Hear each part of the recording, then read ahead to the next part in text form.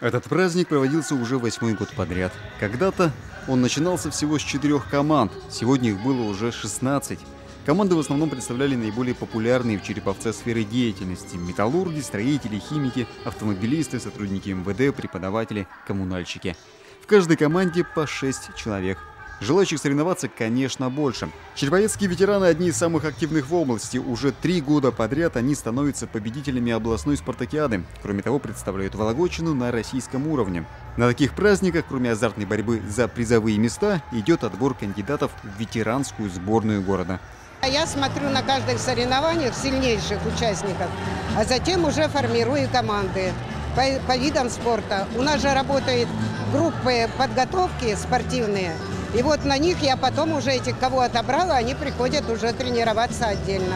И выбирать есть из кого. Вот, например, Людмила Ли. Спортом занимается регулярно, несколько раз в неделю. И недавно достигла важной цели. Выполнила норматив комплекса ГТО на золотой значок. Конечно, тренироваться просто так не сдашь. Там были, у каждой ступени были свои, конечно, упражнения, но они были довольно сложные. Они включали в себя самые разные упражнения. И плавание, и на гибкость, и на силу, и на брюшной пресс. То есть подготовка нужна. Конечно, спортивный интерес важен, но он не на первом месте. Такие праздники и соревнования – это прежде всего лишняя и приятная возможность встретиться с хорошими друзьями и отлично провести время. В таком возрасте уже, когда уже возраст за 60, старайся так, чтобы больше было общения, интересные встречи. Вот, знакомых встречаешь много здесь друзей, которые вот, тоже участвуют в соревнованиях.